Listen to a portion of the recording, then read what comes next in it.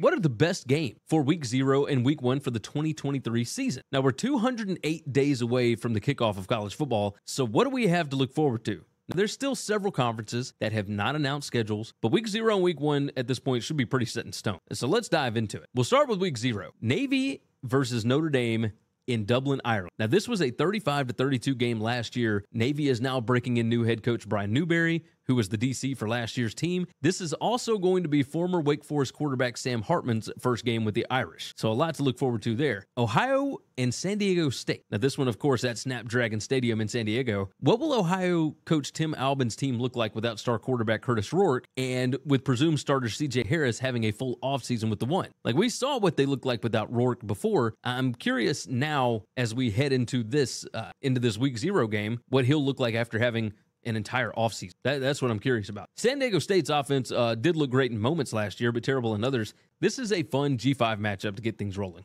in week zero. Now, we'll move on to week one. We'll start with honorable mentions, okay? South Alabama at Tulane. Both quarterbacks, Carter Bradley for uh, South Alabama, Michael Pratt for Tulane. They return for double digit win G5 teams, so this could be a very interesting game. Florida at Utah. It's a big game in name, but Florida has some serious issues at quarterback and at offensive line. Uh, it's a big time rebuilding year for Billy Napier and Bunch, and Utah gets their quarterback Cam Rising back. So that could be a bit of a mismatch. Fresno at Purdue. What does Jeff Tedford's team look like without quarterback Jake Haener? And then what does Ryan Walters' first team at Purdue look like, especially with new transfer quarterback Hudson Card and new offensive coordinator Graham Harrell? Uh, West Virginia at Penn State in week one. That's an old school rivalry. Uh, and of course, we are entering a season where West Virginia coach Neal Brown is going to be majorly on the hot seat, uh, facing a Penn State team that is going to be a preseason darling. Uh, just be ready for it. Penn State's going to be top five in almost every poll. Uh, it's it's going to be nuts. Virginia versus Tennessee in Nashville. Again, this kind of a name game. This is Virginia's first game since the tragedy that ended their season early back in 2022. Uh, but still, it's a big season coming up for Tony Elliott. Uh, also for Tennessee. I mean, what does Tennessee do in year three under Josh Heupel? Uh, what is Joe Milton going to look like? Uh, will he even start, or are we going to see Nico early? I mean, there's a lot of questions around Tennessee right now. Coastal Carolina at UCLA. Now, that likely would have been a much more fun matchup to see Jamey Chadwell and Chip Kelly's offenses going at it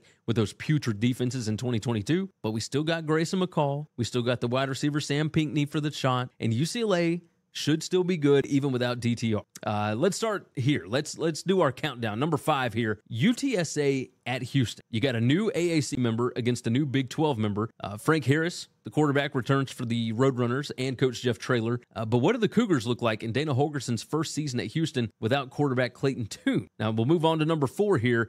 Nebraska at Minnesota. Matt Rhule's first Big Ten test comes in week one at PJ Fleck's Gophers. Now, does Rule make an immediate impact with all the transfers he's bringing in? What does Minnesota look like without their super senior leaders like uh, the quarterback Tanner Morgan, running back Ibrahim? Uh, we'll move on to number three now. Colorado at TCU. Deion Sanders' first game with the Buffs.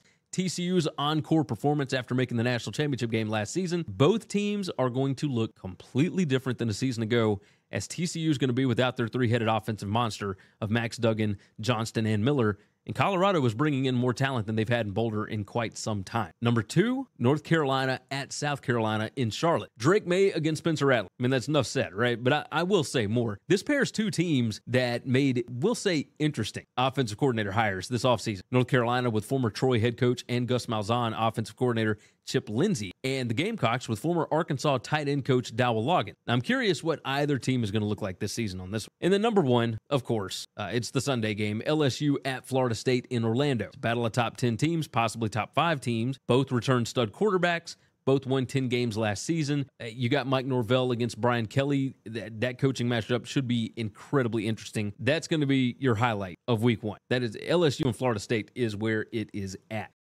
Psst. Hey, if you like this video, go ahead and hit the like button, hit the subscribe button, and of course, jump in the comments. Thanks for listening to Winning Cures Everything. Make sure and subscribe on YouTube or your favorite podcast app, and make sure to leave a nice five star review. You can follow Gary on Twitter at GaryWCE, and the show is at Winning Cures. Be sure to check out the merch in our web store and share the show.